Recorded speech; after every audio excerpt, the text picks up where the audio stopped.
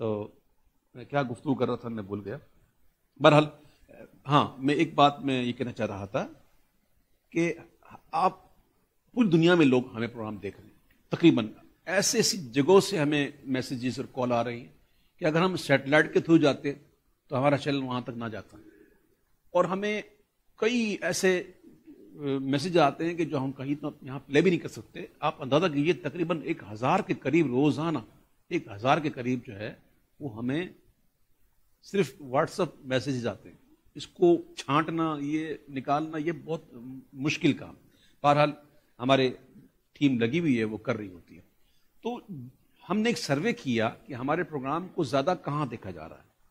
तो उसमें सर फहरिस्त जो आया ना, वो आया है इंडिया भारत। यानी वहाँ जो मुसलमान हमारे रहते हैं, वहाँ ज़्यादा लोग देखते हैं। और मैं जानता हूँ, मैं, मुझे बिल्कुल इस बात का ये पता है कि बहुत चाहने वाले और इतना ज़्यादा उन्होंने मैसेज करते हैं मैसेजेस भी बहुत ज़्यादा करते हैं वो कॉल भी बहुत ज़्यादा करते हैं फरमाइश भी बहुत ज़्यादा करते हैं।